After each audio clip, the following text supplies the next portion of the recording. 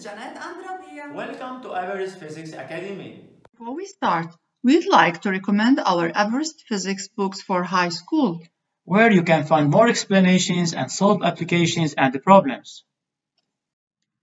In this video, we are going to calculate the maximum current carried by a coil in a series RL circuit fed by a constant voltage.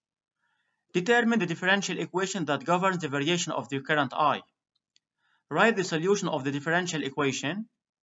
Draw the graph of the current growth and calculate the average and the instantaneous magnetic powers of the coil. The adjacent circuit includes an ideal battery of electromotive force 20 volts, a coil of inductance 100 millihenries and internal resistance 5 ohms, a resistor of resistance 15 ohms, and a switch and connecting wires. The switch is closed at T0 equals 0. Question number 1. Calculate the current Im carried by the coil in the steady state. When we close the switch, the current increases from 0 to its maximum value Im. When the current becomes maximum, the steady state is attained. The expression of the current in the steady state is given by E over capital R plus small r. Capital R plus small r is the equivalent resistance of the circuit. E is equal to 20 volts, capital R is 15 ohms, small r is 5 ohms, and the current in the steady state is 1 ampere. Question number 2. Determine the differential equation that governs the variation of the current I. We will apply Kirchhoff's voltage law and we will follow the positive sense. So we have UAC is equal to UAB plus UBC. UAC is the voltage across the ideal battery. It is equal to E. UAB is the voltage across the coil. We follow the positive sense, so UAB is IR plus LDI by dt. Similarly, UBC is equal to plus RI. Rearrange LDI by dt plus I into capital R plus small r is equal to E. This is the first order differential equation that governs the variation of the current during its growth. Part 3. The solution of the obtained differential equation is I equal m into 1 minus e to the power minus alpha t, where alpha and m are non-zero constants. Determine the expressions of alpha and m in terms of L small r capital R and E, and write the solution in terms of ERR, L, and T. To determine the expressions of alpha and m, we have three steps. First step, we differentiate I with respect to time. Second step, we substitute I and di by dt in the differential equation. And the third step, we solve the equation. I is equal to m into 1 minus e to the power minus alpha t expand, then i becomes m minus m e to the power minus alpha t. Now we have to differentiate i with respect to time. m is constant, so its derivative with respect to time becomes 0. Minus m remains the same since it is multiplied by a variable term and the derivative of e to the power minus alpha t is equal to minus alpha e to the power minus alpha t. Therefore, di by dt is equal to alpha m e to the power minus alpha t. This is the obtained differential equation. Now substitute di by dt and i in this equation. Alpha m e to the power minus alpha t is equal to di by dt. m minus m e to the power minus alpha t is equal to i. So we get this equation. Now expand this term or multiply r plus r into m minus m e to the power minus alpha t, we get this new equation.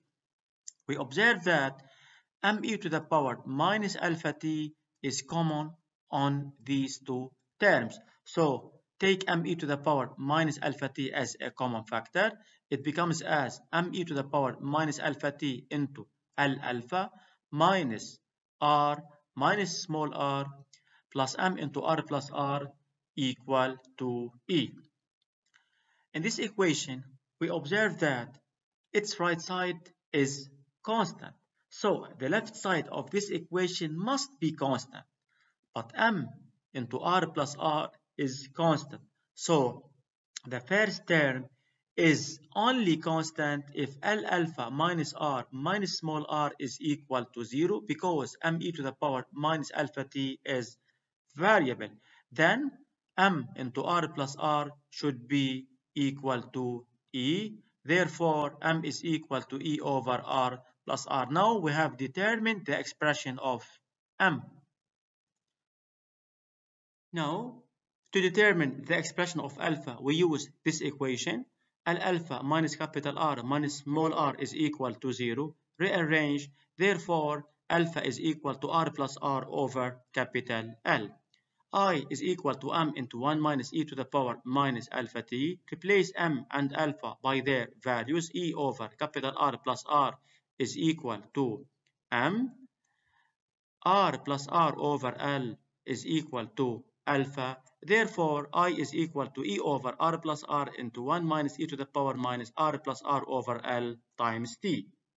Part 4. Calculate the time constant tau of the circuit. We know that the time constant tau of this circuit is given by this formula. Tau is equal to L over R plus R. Now replace each physical quantity by each value. L is equal to 100 millihenry, which is equivalent to 0.1 Henry. Capital R is equal to 15 ohms and small r is equal to 5 ohms. Therefore, tau is equal to 5 times 10 to the power minus 3 seconds, which is equivalent into 5 milliseconds. Focus, please. This is important. Question number 5. Roughly draw the graph that represents i as a function of time and show on the graph the tangent to the curve i equal f of t at t0 equals 0. To draw the curve of i versus t, we need to know the value of the current at some particular instance. Let's start with t0 equals 0. At t0 equals 0, the current is equal to 0. Also, at t equal tau, which is equal to 5 milliseconds, the current is equal to 0.63 Im, which is equal to 0.63 amperes because the maximum value of the current is 1 ampere. Also, at t equal 5 tau, which is equal to 25 milliseconds, the current is approximately equal to the maximum value, which is equal to 1 ampere. Now this is the curve that represents i as a function of time. So here we have 1 tau, 5 milliseconds, and at t equal 1 tau, the current is approximately equal to 0.63 amperes.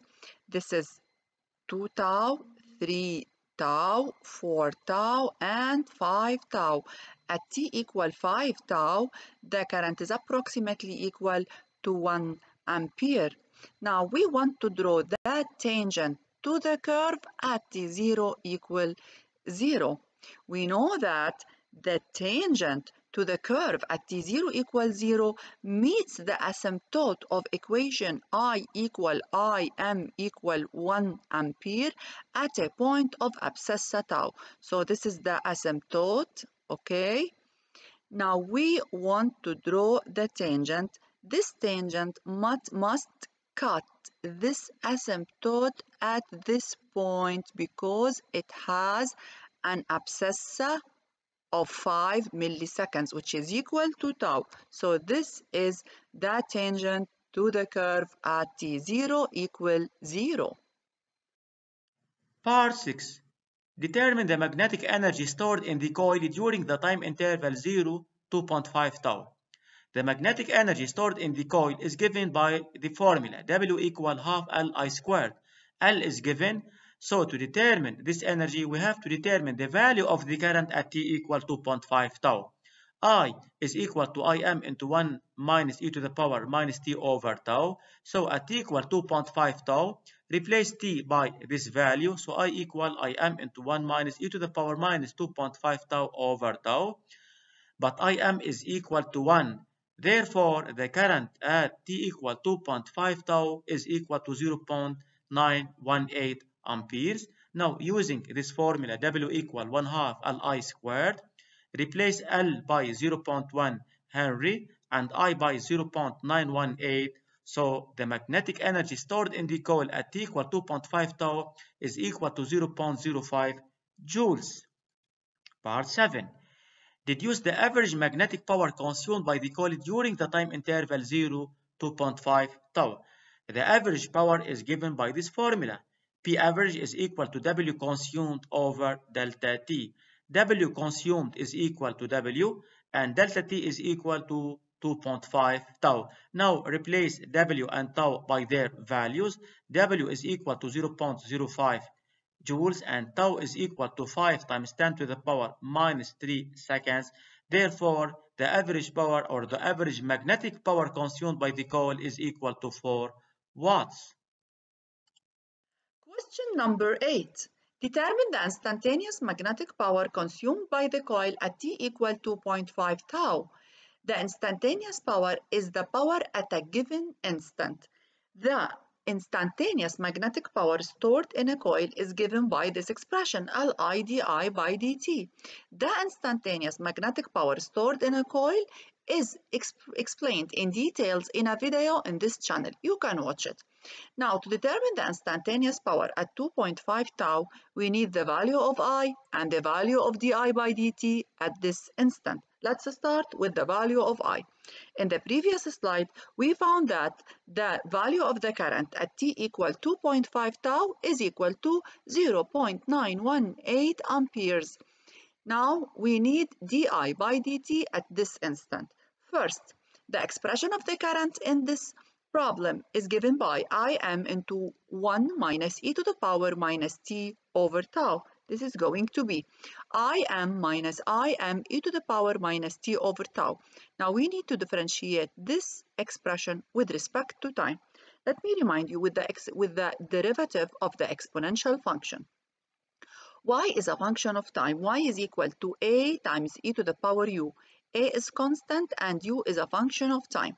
So y prime or dy by dt is equal to a u prime e to the power u. So here, minus im is a and minus t over tau is u. Now let's differentiate the expression with respect to time. Let's start with im. im is constant, so its derivative with respect to time is 0.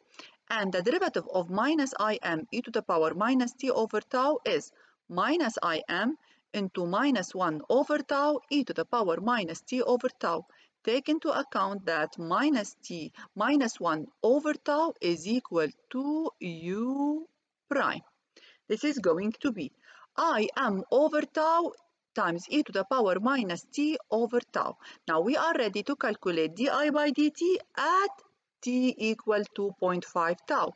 So replace t in this expression by 2.5 tau. This is going to be e to the power minus 2.5 because tau and tau cancel out. Now, the current Im is equal to 1 ampere and tau is equal to 5 times 10 to the power minus 3 seconds and the answer is 16.42 amperes per second. Now let's calculate the instantaneous power at t equal 2.5 tau. So P instantaneous is equal to L which is equal to 0.1 henries and the current at this instant is 0.918 amperes and di by dt at this instant is 16.42 amperes per second and the answer is 1.51 watts. Thank you for watching. If you like this video, subscribe to the channel, hit the like button and share.